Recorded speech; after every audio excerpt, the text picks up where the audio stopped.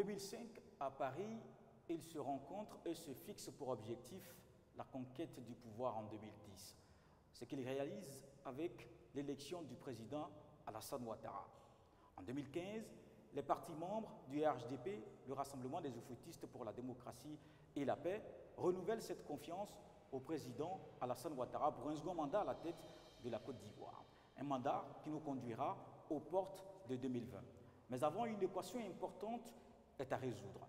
Y aura-t-il, oui ou non, parti unifié D'ailleurs, pourquoi ce parti unifié Mesdames et messieurs, bonsoir. Bienvenue sur Rassemblement Web TV. Bienvenue à cette édition spéciale. Je suis très heureux d'être en votre compagnie. J'ai pour invité aujourd'hui M. Nguetia Judicael. Il est le secrétaire général du MFA. Bonsoir. Bonsoir, M. Allah. Merci d'avoir accepté notre invitation. Vous avez été le premier parti membre du RHDP à donner le ton à aller vers le parti unifié. Pourquoi?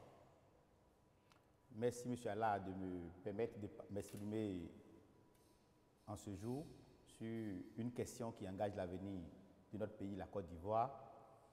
Je voudrais rapidement dire que le Parti unifié, comme vous l'avez dit, le mouvement des forces d'avenir, à travers un congrès qui s'est tenu le 25 mars 2018 à l'hôtel de ville de Bondoukou, a, le MFADIJ a planché sur la question du Parti unifié.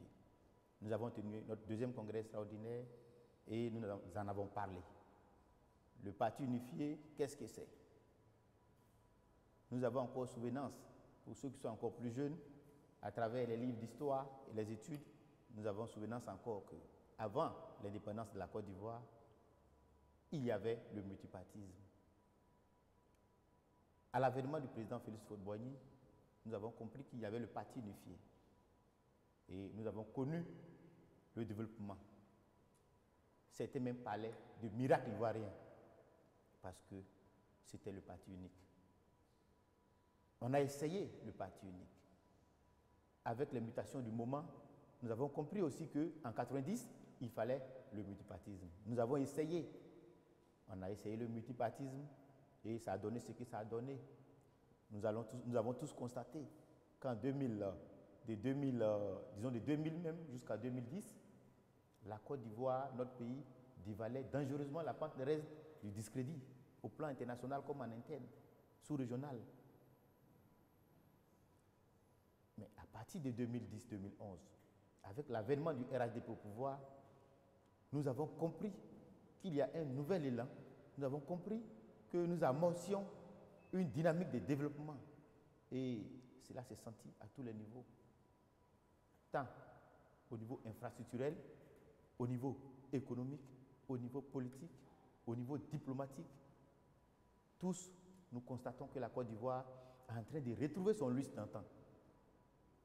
Pourquoi les, contextes ayant changé, parce que vous avez fait référence à l'histoire, aujourd'hui nous sommes en 2018, donc bientôt en 2020. Qu'est-ce qui euh, joue aujourd'hui en termes d'enjeux pour que les partis membres du RHDP aillent effectivement à ce parti unifié? Je vous le disais, on ne change jamais une équipe qui gagne, euh, comme le dit l'adage. Aujourd'hui, le RHDP a fait ses preuves. Dès l'instant où nous constatons que le RADP est en train d'inscrire la Côte d'Ivoire dans une dynamique de développement et inscrire la, Côte d'Ivoire dans le Conseil des Nations les plus civilisées, nous croyons qu'il ne faudrait pas que cet élan s'arrête. Il faut encourager cet élan. Mais en même temps, cet élan, on a assisté à un moment donné sur la scène politique nationale que des cadres du RHDP, par presse interposée, s'est lancé des pics. Mais aujourd'hui, c'est passé. Bien sûr. Avec la signature de, de ce manifeste du Parti unifié entre le président Ouattara et, et Bédier. C'est ce Parti unifié qui permettra aux Ivoiriens de se mettre ensemble. De comprendre que nous avons connu une décennie de crise qui a été préjudiciable pour notre avenir, l'avenir de la jeunesse, mais aussi pour la Côte d'Ivoire. Nous avons compris que c'est ensemble qu'on mettra la Côte d'Ivoire à son niveau de développement souhaité. C'est ensemble que nous pourrons assurer l'épanouissement de cette jeunesse qui représente plus de 70% de la population ivoirienne. C'est ensemble que nous allons préserver la paix que nous a légué le père fondateur, le président Feu Félix Houphouët-Boigny. Est-ce que le MFA, en lançant ce, ce message, euh, d'aller au parti unifié, voulez aussi lancer un autre message à l'endroit des autres partis membres du RHDP Bien sûr, nous voudrions lancer un message à l'endroit des autres partis membres du RHDP dans la mesure où, lors de notre deuxième congrès extraordinaire tenu à Bondoukou, il y avait deux grands volets. Il y a d'abord le volet électif, où le président Siaka Ouattara a été élu à la tête de notre parti. Mais le deuxième volet, il était relatif à l'examen des tests du parti unifié. Et le Congrès, qui est l'instance décisionnelle suprême du MFA, a compris que le parti unifié s'imposait aux Ivoiriens. Et du coup, le Congrès non seulement a donné mandat au président élu, le président Siaka Ouattara, de signer l'accord politique, mais aussi a lancé un vibrant appel. Vous voyez dans les actes de notre Congrès qu'il y a un appel qu'on a baptisé l'appel de Bonoukou. Cet appel, il est à l'endroit de tous les partis membres du RADP. Nous avons demandé à l'ensemble des partis membres du RADP de se joindre à nous, de, fait, de sorte à faire du parti unifié une réalité en Côte d'Ivoire. Dans moins de 48 heures, le RDR va emboîter le pas au MFA. C'est donc dire que peut-être votre message a été entendu, même si on connaissait quand même d'office la position du RDR sur la question.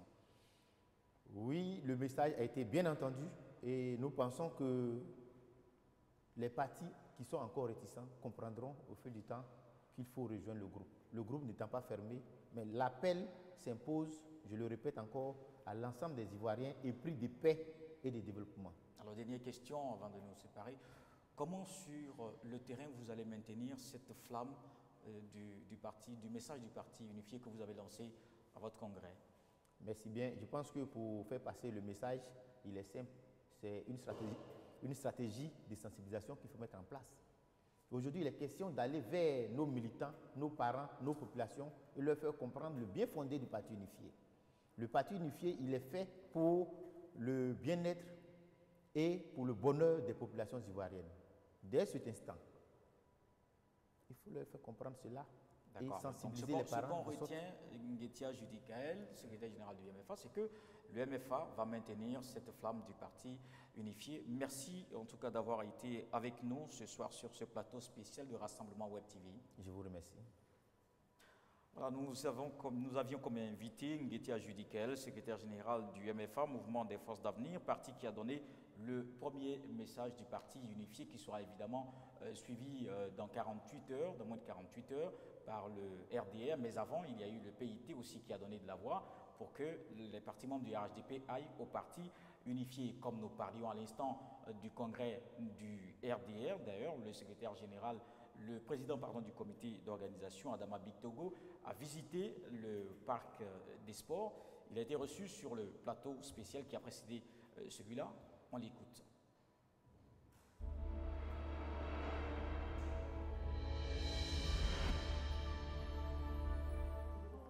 Bonjour à tous, je suis Isabelle Beauvort. Je suis ravie de vous retrouver pour le point des préparatifs du 4e congrès extraordinaire du Rassemblement des Républicains.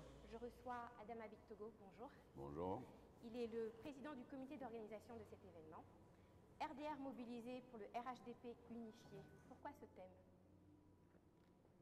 Merci de nous offrir l'opportunité de, nous adresser aux Ivoiriens et à nos militants en particulier. Le thème retenu, le RDR mobilisé pour un RHDP unifié, obéit à la vision du président Alassane Ouattara et du président Henri Conan Bédier, vision qui prend toute sa source depuis 2010 lorsque, après les élections, nous avions été confrontés euh, aux différentes, à la crise post-électorale. Les deux présidents ont donc à cette époque considéré que nous étions dans une situation, la Côte d'Ivoire traversait une période de crise très grave et qu'il était bon que nous trouvions une solution à pouvoir conjuguer nos efforts.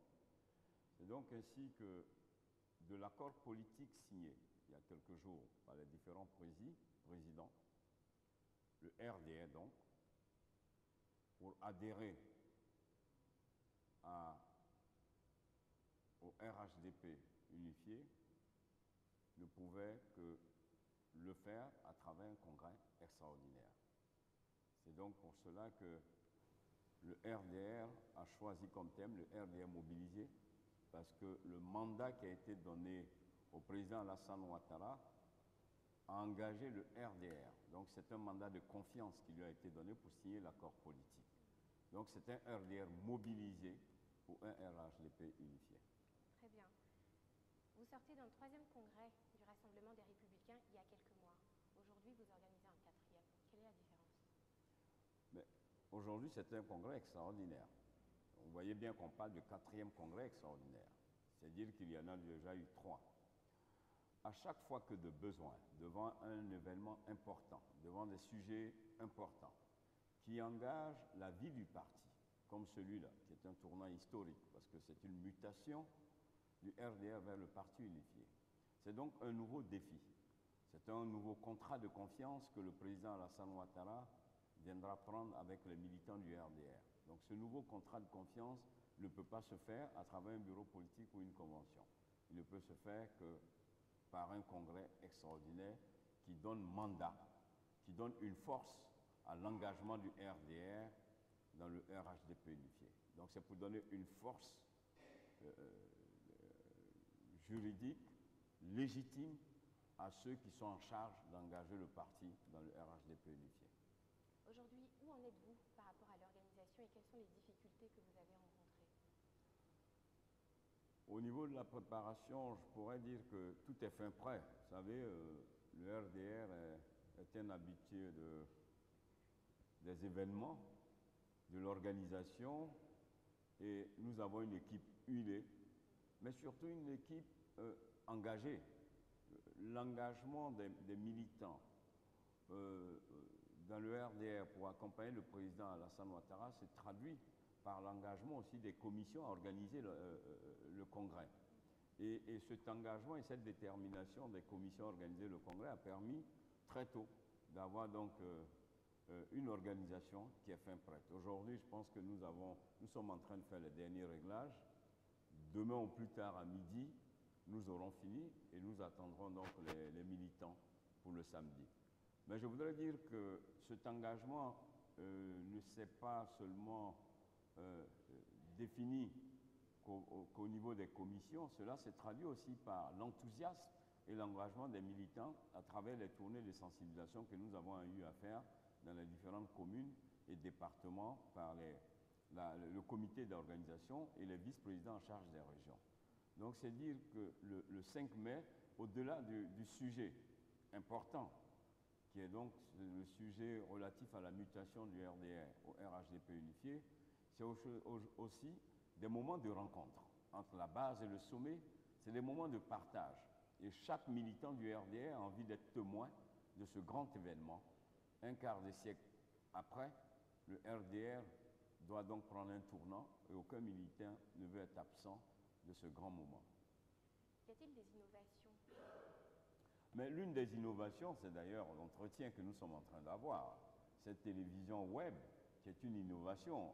Le RDR montre, une fois de plus, conformément à son séminaire sur la communication qu'on a eu à Yamsokro, que le RDR est engagé dans la voie donc de, de, la modernisation, d'éthique, des nouvelles technologies de l'information. Et, et c'est donc un bon vecteur qui permettra à tous les militants du RDR dans le monde entier de pouvoir suivre ce congrès extraordinaire. Donc cette innovation arrive à point nommé quand on sait que le sujet qui, qui, qui, nous réunit, qui nous rassemble, est un sujet très important.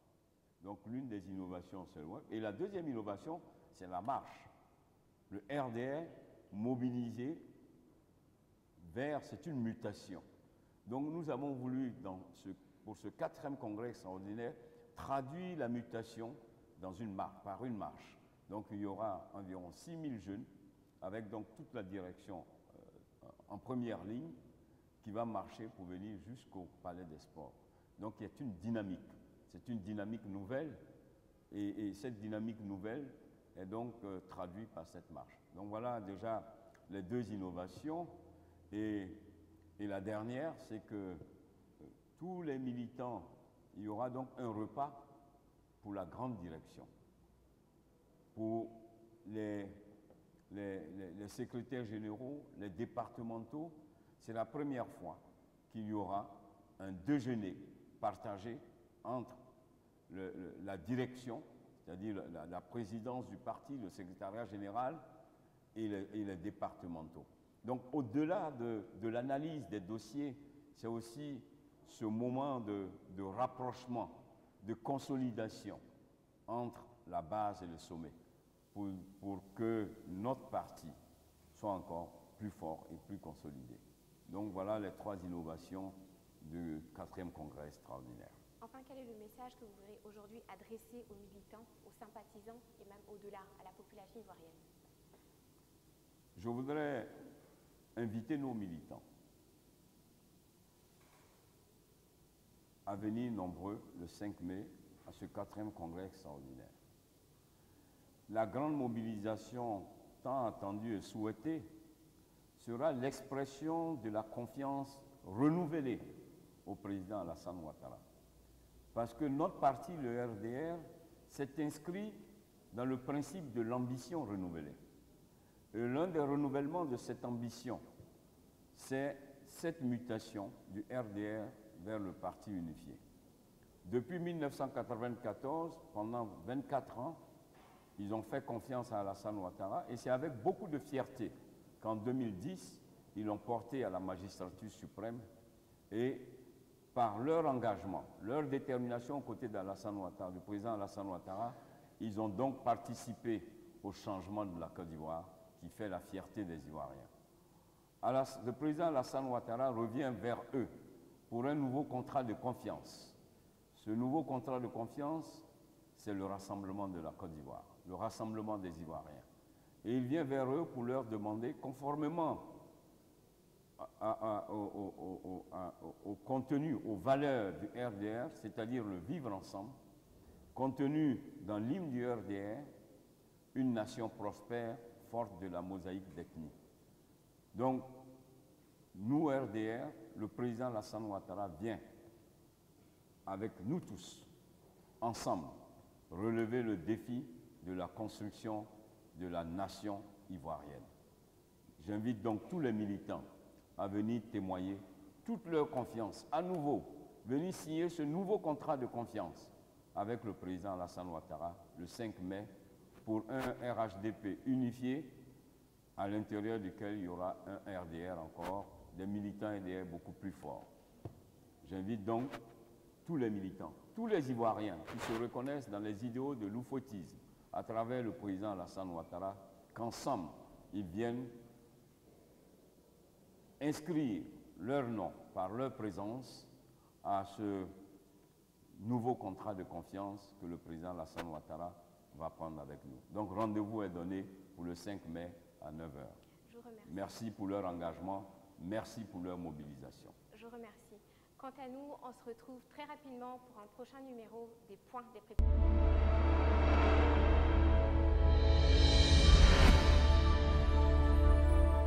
Bonjour à tous, je suis Isabelle Beauvoir. Merci d'être connectés sur notre chaîne Rassemblement Web TV.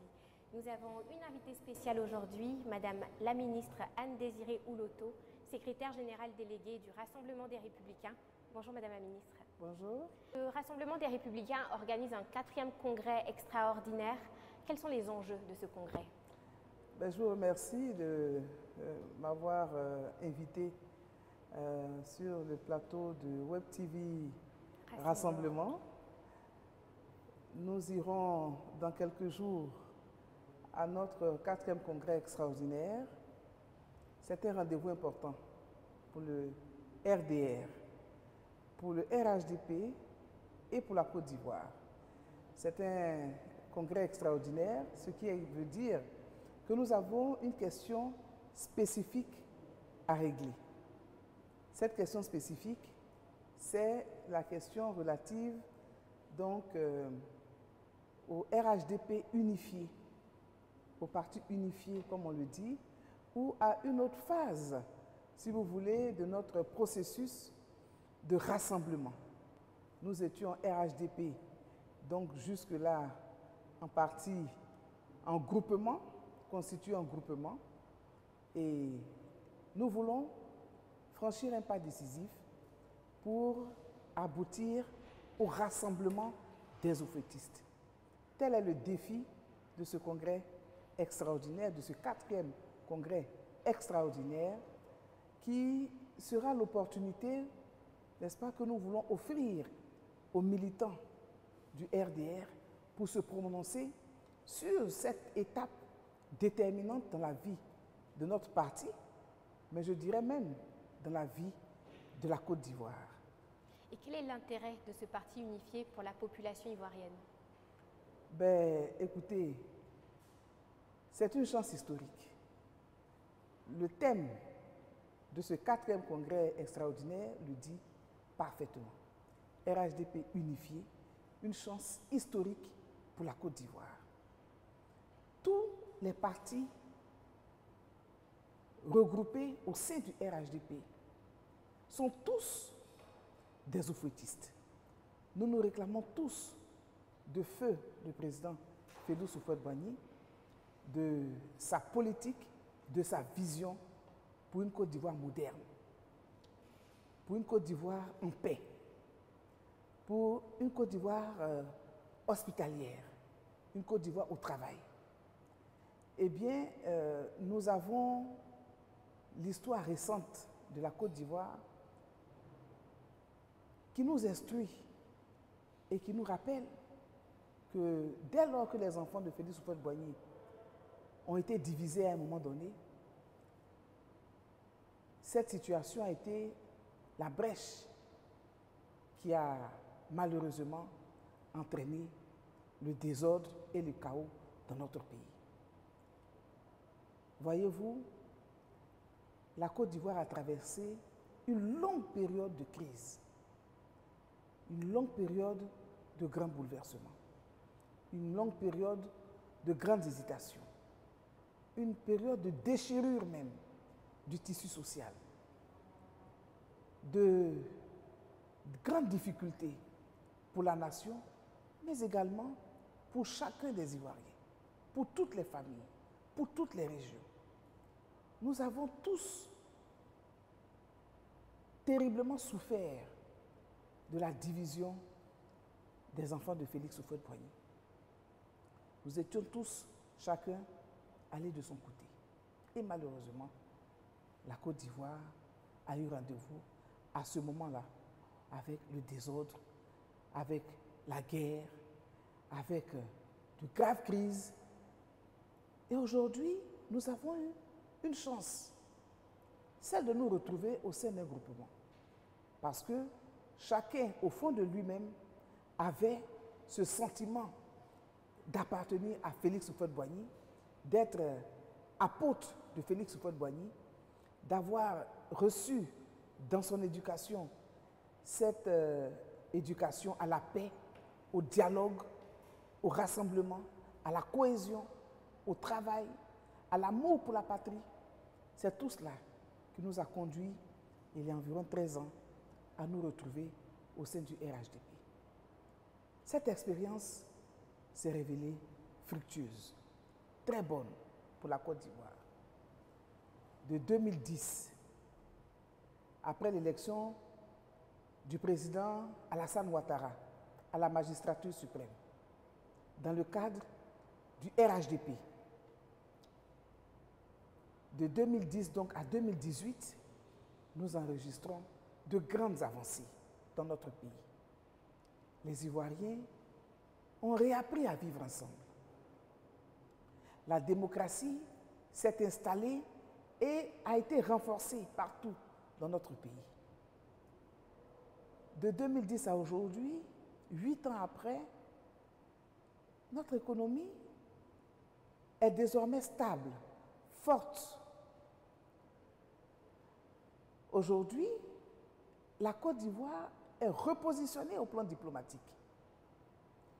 Et d'ailleurs, il y a quelques jours, euh, certains, certaines structures, si vous voulez, de la société, de la, du secteur privé ont organisé une grande plateforme à Abidjan qui indiquait clairement que la Côte d'Ivoire est devenue cet Eldorado du monde euh, donc, euh, des opérateurs privés, des, des bailleurs, des partenaires, et qui tous viennent pour investir dans notre pays. Nous avons un potentiel en ressources important, un potentiel en ressources naturelles, mais également un potentiel en ressources humaines très important. Et nous avons avec nous désormais la paix, la stabilité. Nous avons avec nous également des Ivoiriens qui aujourd'hui ont réappris à faire des projets, qui croient en l'avenir et qui croient d'ailleurs en l'émergence de notre pays. Tout cela nous montre clairement que nous n'avons plus droit à l'erreur, mais surtout que nous devons aller plus loin. En groupement, nous avons repositionné la Côte d'Ivoire. Et aujourd'hui, dans le monde entier, tout le monde aime à le dire, Côte d'Ivoire is back. Et alors, pourquoi ne pas aller plus loin? En renforçant le RHDP et en respectant également nos engagements. Les présidents des partis du RHDP avaient obtenu d'ailleurs de nos militants, de nous tous, que nous allions au parti unifié après l'élection présidentielle de 2015. Nous sommes aujourd'hui en 2018. La Côte d'Ivoire a besoin de cette force, cette force qui travaille à la cohésion, à la paix et au développement. Il nous faut le faire pour la nation, pour les Ivoiriens qui nous regardent et qui aujourd'hui espèrent en une Côte d'Ivoire rassemblée, en une Côte d'Ivoire au travail, en une Côte d'Ivoire moderne, émergente. Nous n'avons donc pas droit à l'erreur. Il nous faut franchir ce cap qui va renforcer les liens au sein, n'est-ce pas, de cette famille des oufouettistes. Donc, nous devons aller à ce parti unifié, à ce RHDP, je devrais dire, unifié, à l'effet de donner un instrument fort de paix et de développement à la Côte d'Ivoire. Et qu'est-ce que vous attendez de la mobilisation des femmes? Il faut qu'elle soit exceptionnelle. Voyez-vous, ce sont nos militants que nous appelons les membres statutaires qui viendront répondre à cette invitation, à cette convocation, et qui devront se prononcer sur l'opportunité pour le RDR d'aller, oui ou non, à ce parti unifié. Quoi de plus normal que nous attendions de nos membres statutaires, de nos militants, de nos responsables, une mobilisation exceptionnelle, une mobilisation sans faille, sans hésitation aucune, pour que d'une seule voix, nous puissions dire oui à ce RHDP unifié. Et le RDR, depuis plusieurs mois, intensifie la sensibilisation et la mobilisation autour de ce projet. Il nous appartient donc de montrer le bon exemple en encourageant les autres formations politiques membres du RHDP à franchir le pas avec le président Hassan Ouattara, avec le président Rico Nambidi, avec le président Seka Joseph du PIT, avec le président du MFA, avec le président de l'UDPCI. Nous devons assumer notre euh, leadership politique en Côte d'Ivoire. Mais nous devons aussi assumer notre responsabilité devant l'histoire, comme pour dire que là où nous avons mis cette barre, nous n'avons plus le droit de laisser la Côte d'Ivoire plonger à nouveau. Il nous faut donc tous, en tant que RDR, dire oui avec la plus grande conviction au RHDP unifié et continuer la mobilisation de tous les partis politiques du RHDP pour qu'ensemble, dans quelques mois, nous nous retrouvions dans un RHDP unifié, afin d'offrir à notre pays cette chance historique d'aller à une paix durable, définitive et à un pays moderne. Je vous remercie, Madame la Ministre. Le message est clair. Quant à nous, restez connectés sur notre chaîne Rassemblement Web TV.